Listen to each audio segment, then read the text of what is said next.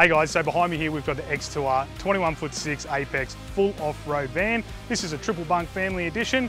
Let's go through and have a look and I'll show you around. So at the front of this van, we've got a full steel chassis from Road King, which is all galvanized as well. Gas bottles, your normal stone deflectors at the front, your dual toolbox with two generator slides in it, and a bike rack on the front. We've got some work lights front and side, and then the barbecue slide out the side. Underneath this van is a Cruisemaster XT coil suspension kit and we've got three 95 litre water tanks.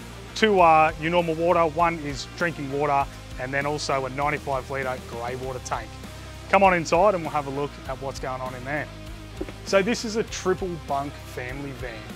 You've got the nice big bed at the front, uh, you've got storage sides either side and all of the cabinets up the top. It has a 200 amp hour lithium system in it, three solar panels up top, aircon, Carafan, diesel heater for those cold nights, inside, outside stereos, all that sort of normal stuff. And some really nice colours in this one with the cool leather tan couch in it. What's fantastic about the Apex van is that what you see here is all standard inclusions. The only three additional things on this one that the customers opted for is a diesel heater, a Carafan and the extra water tank. Everything else is included.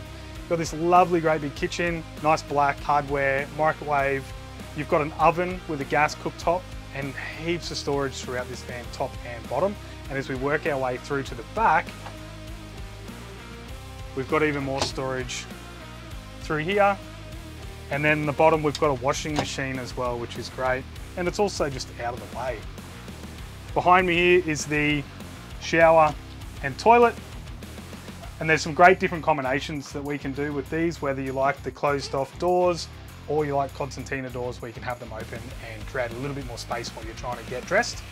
With the triple bunks, this one has a CNC cut ladder into it. You can get the one that comes out, but then it sort of impedes on your hallway space. Do definitely do a, a, double bunk as well, which then allows you to get a bit of storage at the bottom, which you can access from the outside. In this one, we've got fans at each beds, lights at all beds, and USBs as well.